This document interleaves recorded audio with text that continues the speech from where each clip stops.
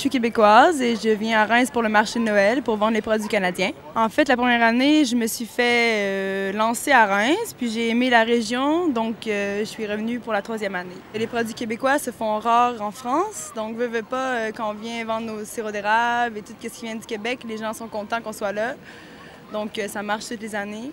Ça fait exactement euh, 5 ans que nous sommes sur Reims et nous avons donc réussi à fidéliser une clientèle particulièrement, euh, je dirais, fidèle, euh, courtoise, euh, magnanime.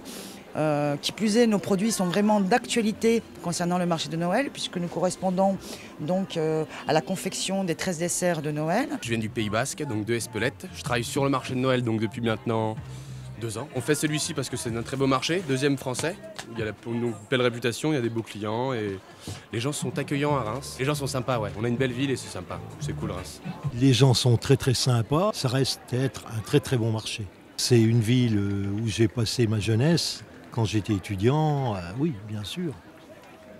Vous reviendrez l'année prochaine Oui, c'est l'onzième année. Je viens de l'île de la Réunion et je fais la promotion des produits de mon exploitation agricole et des produits de la Réunion. Reims, à ce qui paraît, c'est sympa et je faisais la foire de Chalon et on m'a dit, beaucoup de clients de, Chalon me disaient bah, de venir au marché Noël de Reims et j'ai eu l'opportunité de venir donc euh, je suis venu. Les clients sont super sympas, ils aiment bien la Réunion, déjà les produits mais aussi l'île. Donc du coup, dès qu'ils voient un produit de la Réunion ou un stand de la Réunion, ils sont émerveillés, ils n'ont qu'une seule envie, c'est d'aller à la Réunion en même temps. Les clients fidèles, ben, ils reviennent. Et de plus en plus, il y a de nouveaux clients, donc euh, c'est pas mal. Je viens du Pouliguen et je vends des bougies ici depuis 98, des bougies qu'on fait nous-mêmes, des bougies végétales et avec des parfums naturels. Et puis voilà quoi. Je suis un habitué ici. Je fais pousser des poireaux autour du chalet.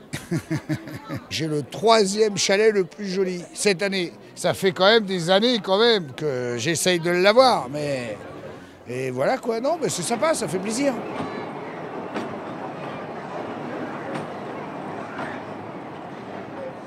Invest in Reims.